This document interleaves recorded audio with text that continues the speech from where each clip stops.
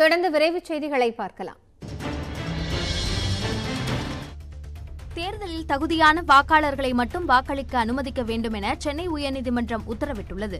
விழுப்புரம் மாவட்டம் ஈச்சாங்குப்பம் கிராம பஞ்சாயத்திற்கான துணை வாக்காளர் பட்டியலில் பதினெட்டு வயதிற்கும் கீழ் உள்ள பள்ளி மாணவர்களின் பெயர்கள் இடம்பெற்றுள்ளதாக தமிழரசன் என்பவர் சென்னை உயர்நீதிமன்றத்தில் வழக்கு தொடர்ந்தார்.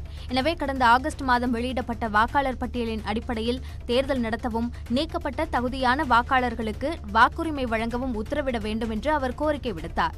இந்த மனு மீதான விசாரணையில் பதிலளித்த அரசு தரப்பு ஈச்சாங்குப்பம் கிராம பஞ்சாயத்துக்கான தேர்தல் வாக்குப்பதிவு ஏற்கனவே தொடங்கிவிட்டதாக விளக்கம் அளித்தது. இதனால் இந்த மனு மீது எந்த உத்தரவும் பிறப்பிக்க இயலாது என தெரிவித்த நீதிபதிகள் இருப்பினும் ஆவணங்களை சரிபார்த்து தகுதியான வாக்காளர்களை மட்டும் வாக்களிக்க அனுமதிக்க வேண்டும் என உத்தரவிட்டு வழக்கை முடித்து வைத்தனர். தூத்துக்குடி மாவட்டம் கோவில்பட்டி அருகே இரண்டு நாட்களாக பெய்த தொடர் மழையால் தரைப்பாலத்தை தாண்டி தண்ணீர் செல்வதால் மக்கள் வெளியில் செல்ல முடியாமல் பரிதவித்து வருகின்றனர். ஆர். வெங்கடேஸ்வரபுரம் பகுதியில் சுமார் இருநூறு குடும்பங்கள் வசித்து வருகின்றன. ஒவ்வொரு முறை மழை பெய்தாலும் தரைப்பாலம் நீரில் மூழ்கி விடுகிறது. இதனால் மாணவர்கள் பள்ளி செல்ல முடியாத நிலை உள்ளது. அத்துடன் அவசர தேவைக்கு கூட ஊரை விட்டு வெளியே செல்ல முடியாத சூழலில் இப்பகுதி மக்கள் வாழ்ந்து வருகின்றனர். மேம்பாலம் அமைத்து தர வேண்டுமென இருபது ஆண்டுகளாக இவர்கள் கோரிக்கை வைத்தும் இதுவரை நடவடிக்கை எடுக்கப்படவில்லை என வேதனை தெரிவிக்கின்றனர். இந்த இந்த கிராமத்தில் வந்து ஒரு இரநூறு குடும்பங்கள் இருக்கு. மழை பெஞ்சிட்டாலே இந்த இந்த கரையிலேருந்து அந்த கரைக்கு போக முடியாது. அது நைட் நேரம் வந்தாச்சுன்னா ஒரு பாதுகாப்பும் கிடையாது. அதனால் இந்த பாலை வேணும்னு சொல்லி ரொம்ப நாளாக நாங்களும் கோரிக்கை வச்சுக்கிட்டு இருக்கோம். இது இது வரைக்கும் வரக்கூடியவங்க எந்த அதிகாரிகிட்ட பல முறை முறையிட்டும் பார்த்தீங்கன்னா ஒரு நடவடிக்கையும் இல்லை.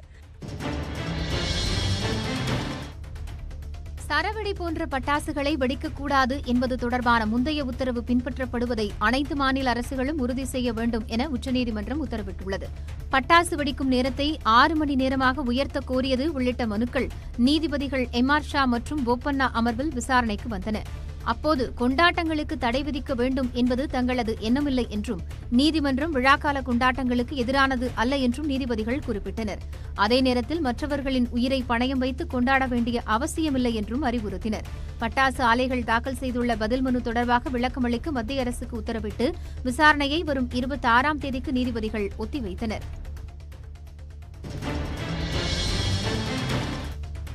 கலப்பட ஜவ்வரிசி விற்பனை செய்யப்படுகிறதா என்பது குறித்து ஆய்வு செய்து அறிக்கை அளிக்க உணவு பாதுகாப்புத்துறைக்கு உயர்நீதிமன்றம் உத்தரவிட்டுள்ளது. மரவள்ளிக்கிழங்கிலிருந்து ஜவ்வரிசி தயாரிக்கப்படுகிறது. ஆனால் சில ரசாயன பொருட்களை கொண்டு கலப்பட ஜவ்வரிசி தயாரித்து விற்பதால் மரவள்ளிக்கிழங்கு விவசாயிகளும் ஜவ்வரிசி உற்பத்தியாளர்களும் பாதிக்கப்படுவதாக உயர்நீதிமன்றத்தில் வழக்கு தொடுக்கப்பட்டது. இந்த வழக்கு நீதிபதி எஸ். எம். சுப்பிரமணியம் முன்பு விசாரணைக்கு வந்தது. கடைகளில் விற்கப்படும் மூன்று விதமான ஜவ்வரிசி பொட்டலங்களை நீதிபதி கையோடு எடுத்து வந்திருந்தார். அதனை உணவு பாதுகாப்புத்துறை அதிகாரிகளிடம் ஒப்படைத்த நீதிபதி இதனை கிண்டியில் உள்ள ஆய்வகத்திற்கு அனுப்பி கலப்படம் உள்ளதா என்பதை ஆய்வு செய்து அறிக்கை தாக்கல் செய்ய உத்தரவிட்டு வழக்கு விசாரணையை ஏழாம் தேதிக்கு ஒத்திவைத்தார்.